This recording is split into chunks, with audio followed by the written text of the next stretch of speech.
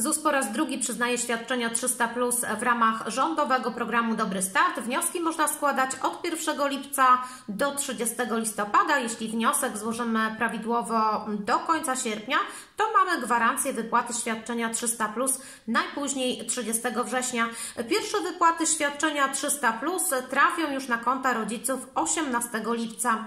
Wnioski o Dobry Start można składać wyłącznie elektronicznie poprzez platformę usług elektronicznych ZUS, bankowość elektroniczną czy portal Empatia. Informacje o przyznaniu świadczenia rodzic zobaczy na swoim profilu na platformie usług elektronicznych ZUS.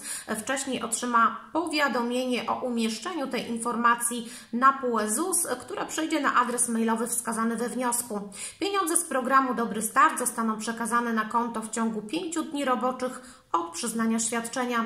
Pierwszych kilkaset tysięcy świadczeń zostało już przyznanych. Wypłata środków nastąpi 18 lipca. W kolejnych dniach będą sukcesywnie kierowane kolejne informacje o przyznaniu wsparcia. W sytuacji, gdy sprawa będzie wymagała przeprowadzenia postępowania wyjaśniającego, do rodzica zostanie skierowane wezwanie w celu uzupełnienia wniosku. To wezwanie będzie umieszczone na jego indywidualnym profilu na platformie usług elektronicznych ZUS. O tym, że wezwanie jest na PUEZUS, rodzic zostanie poinformowany SMS-em, który zostanie wysłany na numer telefonu wskazany we wniosku.